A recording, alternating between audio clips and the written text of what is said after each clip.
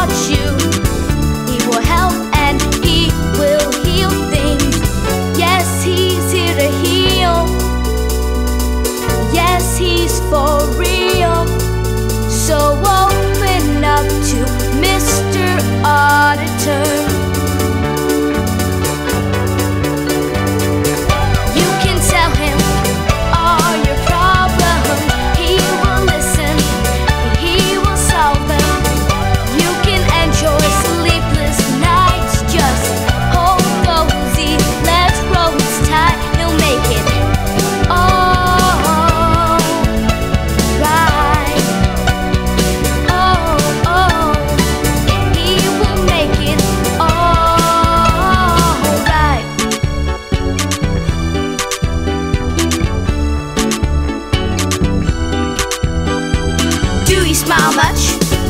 Are you a slow eater? Does emotional music have an effect on you? Does talking in front of people make you nervous? Do you ever get a dreamlike feeling towards life when it all seems unreal? Do you sometimes